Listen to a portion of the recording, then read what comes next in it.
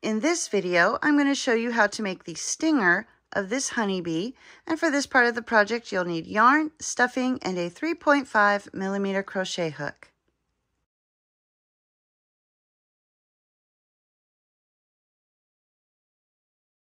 For the stinger, we'll use the dark colored yarn. And we'll begin with a magic circle. So wrap the yarn around your fingers, reach through, bring up a loop, chain one to secure your yarn. And then for round one, we're going to do four single crochet into this magic circle. So there's three and four. I'm going to grab that tail, give it a pull. That closes up the hole. I'm to place the stitch marker, and at this point, you should have four stitches. For round two, we're going to do a repeating sequence of one single crochet, followed by one increase. And to do the increase, you'll go into the stitch, do a single crochet, back into the same stitch for another single crochet. And then we're going to repeat that one more time. So one single crochet, and then one increase, and that brings us to the end of this round. And at this point, you should have six stitches. For round three, we're just going to do one single crochet in each stitch all the way around. And when you come to the end of this round, you should still have six stitches.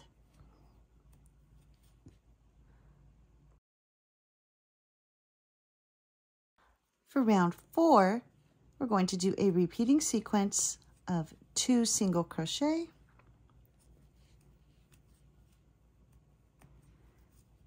followed by one increase.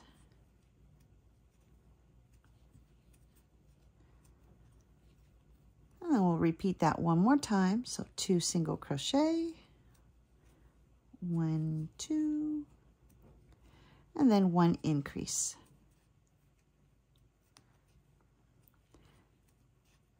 And that brings us to the end of this round, and at this point you should have eight stitches.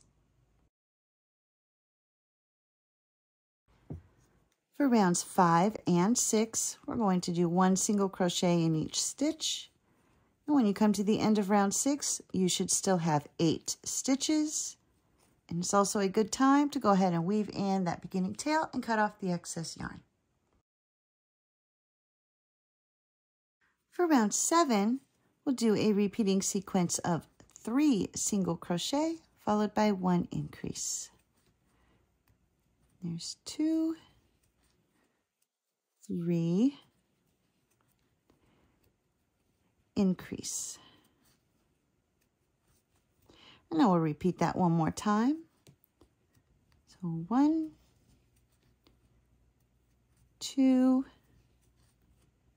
three, increase.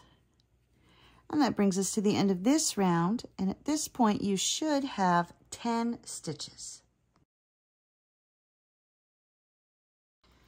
For rounds eight and nine, we're going to do one single crochet in each stitch all the way around. When you come to the end of round nine, you should still have 10 stitches. For round 10, we'll do a repeating sequence of four single crochet followed by one increase. There's two, three, four, and then one increase. And now we'll repeat that one more time. So four single crochet, one, two, three, four, and one increase. And that brings us to the end of this round. And at this point, you should have 12 stitches.